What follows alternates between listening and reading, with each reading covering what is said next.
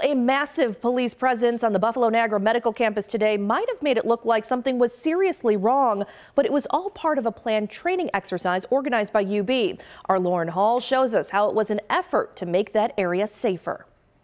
The drill began with a simulated explosion inside the loading dock area of UB's Jacobs School of Medicine on Washington Street, which then in the scenario set off a police chase and injured dozens. Again, everyone involved in this was okay. It was just a training exercise and every detail was carefully orchestrated. The emergency response today looked real, but this was all for practice. There was never an explosion or even a loud noise, and no one was actually hurt.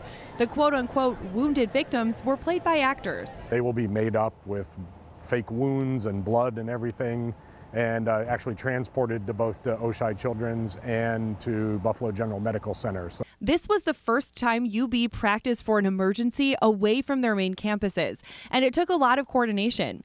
The hospitals had to warn their patients, staff, and visitors not to be alarmed when they arrived to find all the extra police and fire crews on the scene. We learned so much. You know, can your radio talk to my radio if we're from different agencies? Is it different? uh, being on this playing field down here than being on other UB campuses. And uh, that's the real win for us here is to learn those lessons in a practice environment, like I said, and uh, take that away. And if it does happen for real, then uh, we've learned the lessons and can do even better. Washington Street and the other areas where the drill took place are now back open to traffic this afternoon. This was the largest of these emergency drills that UB has conducted since they began doing them several years ago. Reporting in downtown Buffalo, Lauren Hall, Channel 2 News.